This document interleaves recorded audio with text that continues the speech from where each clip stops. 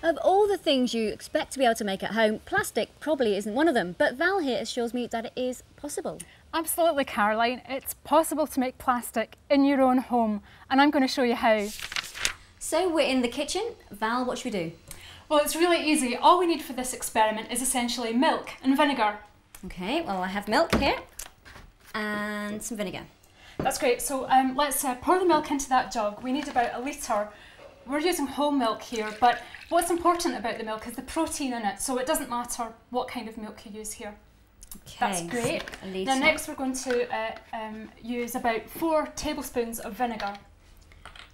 Now what we're going to be doing with the vinegar later is uh, once the milk's heated up we'll be adding the vinegar uh, in and then we'll see what happens. That's the crucial thing to this experiment and to the reaction that we're going to see happening later on. Okay, so what should I do first? So um, let's um, pour the milk into the pan and then we'll, uh, we'll get that heated up and then once that's nice and warm we'll add in the vinegar and see what happens. Okay.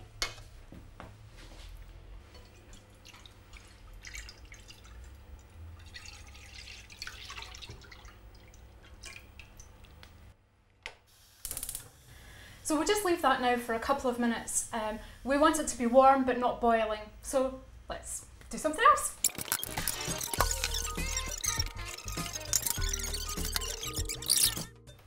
So this looks about ready. It's warm, but it's not boiling. Val, what do we do next? We'll turn the heat off and uh, next we'll um, add in the vinegar. So it's going in. Do I stir it now? Yep, give it a good stir. That's it. Now, almost instantly, you should start to see. Oh, I can see it already. The, um, see those globs forming there?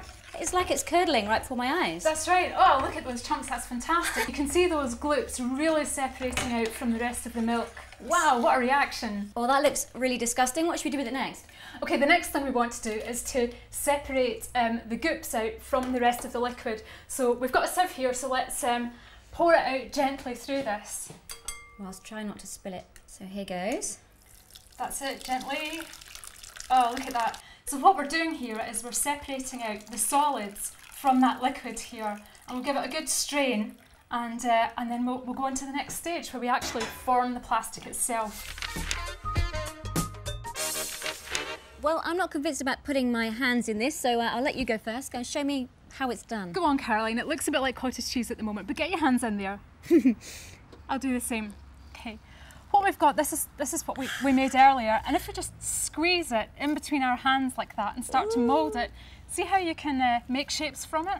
It's kind of actually coming together, kind of like dough. It is, yeah. And so, so you can uh, make any type of shape that, that you like from it. And you know how you were you were saying it was like cottage cheese earlier? Well, did you know that this is exactly how paneer's made?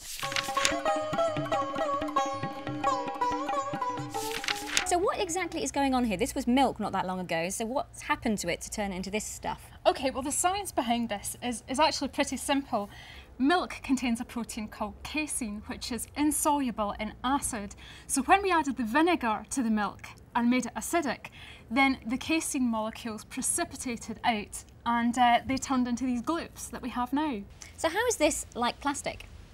Well, the casein molecule is a long chain molecule, and it's very similar to the long chain polymers that you find in plastics themselves.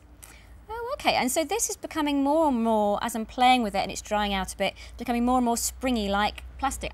So thanks, Val, for telling us about that. And here's where to find out more about this and plenty of other science that you can do at home.